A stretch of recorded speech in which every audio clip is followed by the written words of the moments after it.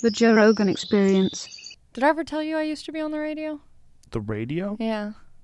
I've told you this before. in another life. No, when I was like seven years old, I was on um, Kiss FM. Did you tell me this? I have. really? Yeah, Ryan Did I Seacrest block is it the out? host of it, probably. Yeah. Why did I not remember that? I don't know, because it Was wasn't. it good? Uh, Yeah, I mean, I had a job working as a radio personality for like four years from third grade until sixth Really? grade. Yeah, making prank phone calls. No, yeah, I don't think you told me this. I've told you. Did you tell me on the air? No, You told me in real life. I told you in real life. I don't know if you did. I don't remember. Do you remember this? hmm I've heard. I mean, I've heard this, her talk about it before. I don't. But I was like a mini. I was like a little mini celebrity in my hometown. You know, like my dad would. He. I remember one time he had to get a rental car, and they were gonna give him like you know a Toyota or something. And he's like, "Do you listen to Kiss FM? Do you know Lil Ali? That's my daughter. Can I get a convertible?" Pick me up from school in a new, like a nicer rental car or something. Wow. Yeah. Eh, but I mean, even that was hard, and that was like nothing. How the nothing. fuck did that happen? I called in randomly. My sisters listened to Kiss FM when we would get ready for school. We'd listen to you were it. seven. I was seven. No one's watching you, My dad was home. My dad was home, and my sisters were home. Probably, yeah. and you just grabbed the phone, and started dialing numbers. I asked my sister. I said I want to call into the radio station. I want to like request a song or something. And my oh. sister's like, "I'm not giving you the number. You're gonna embarrass me. All my friends listen to this station." And so she tries calling in. She doesn't get through. My dad takes her to school. Me and my other sister are at home. I press redial on the phone, and I immediately get through. And now I'm panicking. I don't know what to say. And I'm like, "Can I get Britney Spears tickets?" Talking to Ryan Seacrest, and he's like, "Can you sing a Britney Spears song?" So I'm like seven years old singing Toxic by Britney Spears, just being like, The taste of your lips, I'm on a ride.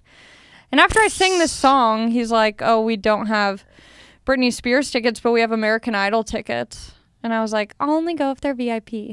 Is that what you said? Yeah. hmm and then we're just having a conversation back and forth. He's like, Where are your parents? I'm like, I don't know. Dad's out. It's like seven in the morning. And so then I ended up getting a job making prank phone calls for them. How did it end? It ended with me not being little anymore and They didn't like you anymore. No, I was too old. I was like 12.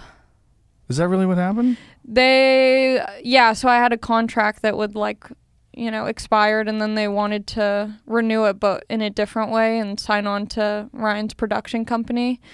But my oh, dad, wanted to pimp you out. yeah, Whoa. Did And- he want a piece of you? yeah, Really? yeah. What I kind think, of piece? I think they want like 20%. of everything you do Uh huh. from there on out.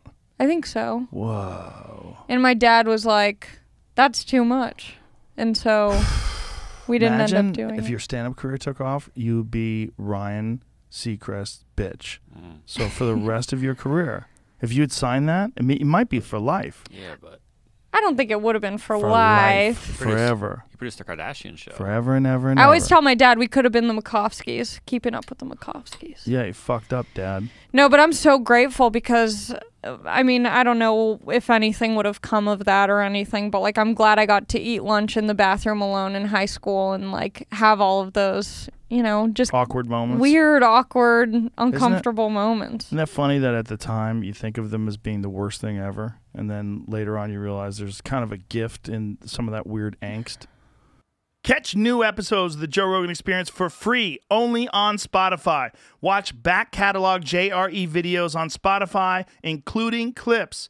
Easily, seamlessly switch between video and audio experience. On Spotify, you can listen to the JRE in the background while using other apps and can download episodes to save on data cost, all for free. Spotify is absolutely free. You don't have to have a premium account to watch new JRE episodes. You just need to search for the JRE on your Spotify app. Go to Spotify now to get this full episode of the Joe Rogan Experience.